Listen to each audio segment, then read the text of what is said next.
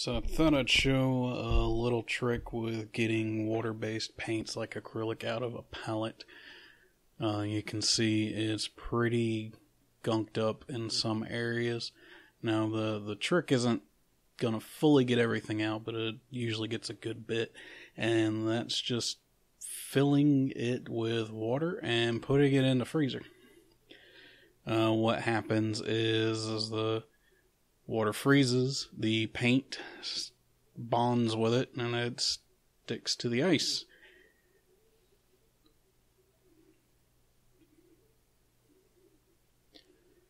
So I'm just going to fill these up and doing it one handed right now. So usually you don't want to go over each well area.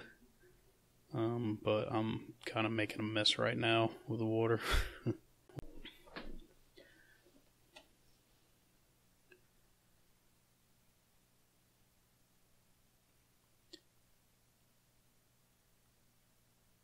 so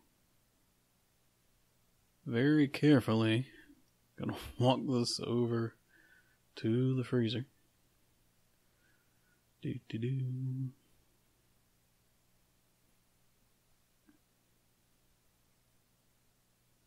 There's stuff in the freezer.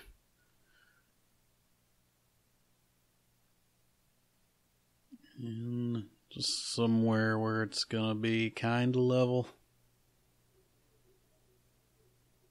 Won't just spill everywhere. So we'll get that in there and then we'll come back and check on it after uh, give a little time to freeze. So I just watched a few TV shows while letting it freeze. It might have been a couple hours, um, maybe an hour and a half. Wasn't really keeping time, but you know, if you have an ice tray, you know how long it takes normally. But as you can see, the paint is stuck to the ice. Like I said, it doesn't get everything, but it usually gets a good bit of it. Um, depending how flexible your palette is, determines how easy it is to pop out. Um, working with one hand, I need needed to actually set the camera down real quick.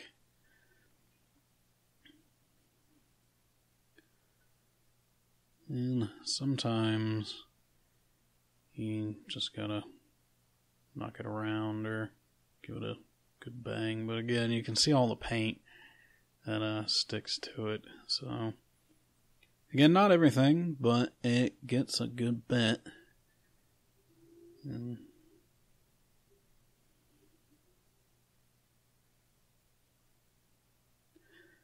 now, ideally, I should have done this like over a, a shopping bag or right into the trash can, but I wanted to actually show you how much it all gets, so I just banged it over the sink and cleaned it out later.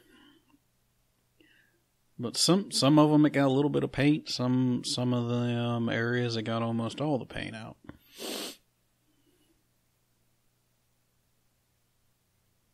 And it's just kind of neat to have cubes of uh, paint with multicolors.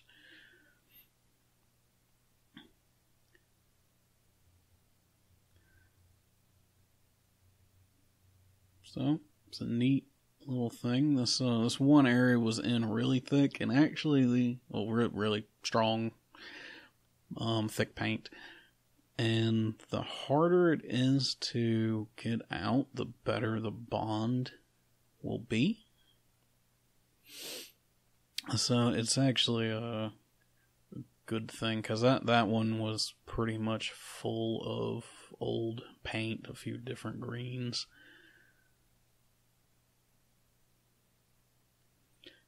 Again, sorry for the one handed camera work there.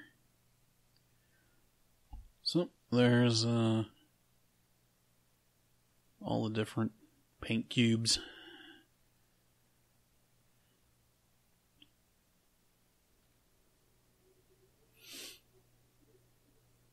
So you can just see how it just bonded. And through through multiple layers of paint.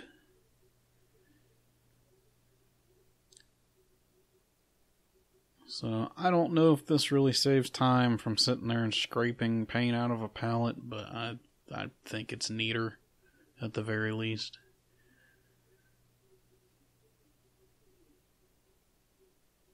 And you get to make a mess while cleaning a mess.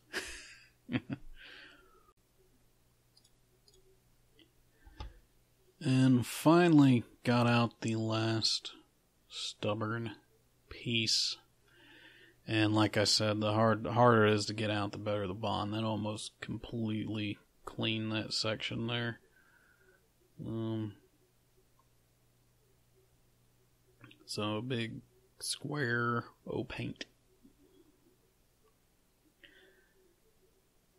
So yeah, um, try it out. Work with should work with. This was acrylics. It should also work with watercolors. Um, anything water based. Again, didn't get everything, but got a good bit. All right. Thank you for watching.